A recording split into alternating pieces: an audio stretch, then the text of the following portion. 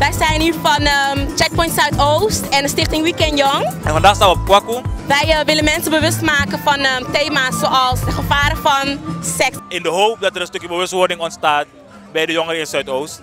Dat doe ik vandaag hier. DJ Game Over, tot die dansen. Sommige mensen die maken wel heel aparte foto's waarbij je heel veel ziet. Meer dan een kusje, meer van je lichaam. Wat, wat vind je daarvan? Ook gezien en het is een eh, collega van me. Hij, is, eh, hij wordt leraar en hij is ontslagen van zijn stageplek.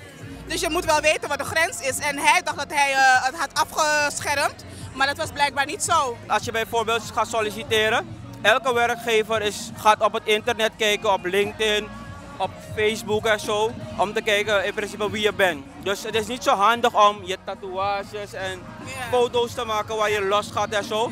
Zet die liever niet op Facebook. Probeer het gewoon een beetje netjes te houden. Hallo. Een striptease voor de webcam kan geen kwaad. Ik vind uh, je moet doen waar je zelf zin in hebt, toch? Kijk, als man zijn, dan vind je het natuurlijk wel leuk om te zien, maar... Ik denk dat alles onschuldig begint, maar stel je voor dat het gewoon dat je relatie voorbij gaat en de ene wil de ander gewoon terugpakken. Dat gebeurt bij jongeren heel veel, zie je. Ik vind dat ook stam, waarom zou je het moeten doen? Nou ja, waarom niet? Ik bedoel, van, eh, we leven in een ruimdenkende wereld, dus waarom zou dat niet kunnen? Het kan geen kwaad, zolang het maar privé is.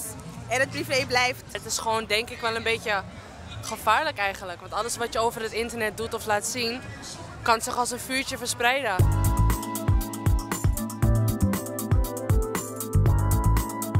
Genderongelijkheid. Genderongelijkheid is eigenlijk de verschillen tussen mannen en vrouwen, toch? Ja. Maar niet fysieke verschillen, maar meer de behandeling en de relatie tussen mannen en vrouwen. Een man en een vrouw op dezelfde functie verschillen in salaris. Dus dat is alvast één van de punten.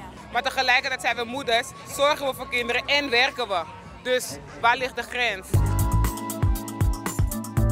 Met zo'n rotje vraag je erom. Je hebt natuurlijk wel een gedeelte die er wel om vraagt en die wel aandacht wil krijgen van jongens. If you want to wear a miniskirt, you want to wear a miniskirt. We zijn voor elkaar geschapen. Dus het is natuurlijk, natuurlijk als je een meisje ziet, je vindt een mooi meisje, ziet een knappe jongen, dat je gewoon je aangetrokken voelt. Maar dat neemt niet weg. Als dat meisje, ook al staat het meisje naakt voor je, dat neemt jou niet weg om dat meisje zo te behandelen. Dus ik denk ook dat wat ze ook aan heeft, dat het die jongensplaats is om dat meisje alsnog met respect te behandelen, wat zij ook verdient.